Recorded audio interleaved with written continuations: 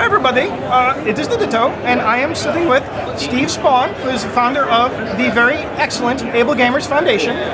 So, Steve, would you like to talk a little bit about your foundation? Absolutely.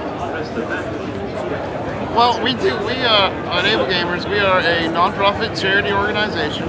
We help disabled children and veterans returning from war to help them get into gaming again. That's awesome. And what kind of things do you do to help them? Uh, we show them different controllers that they can use when they have difficulties in life that they would need some help. So we enable them to, to get back into the video game by playing a different way than most people might. Oh, that's really great. And uh, do you find that the video games kind of help them to uh, maybe, you know, reintegrate or just kind of uh, connect with people more?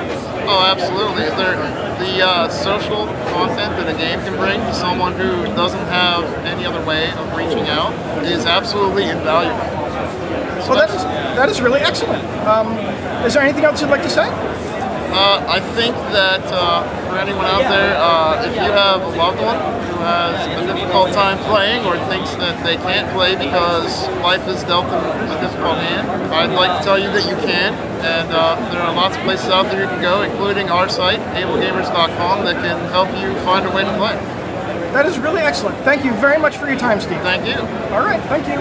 Thanks, everybody.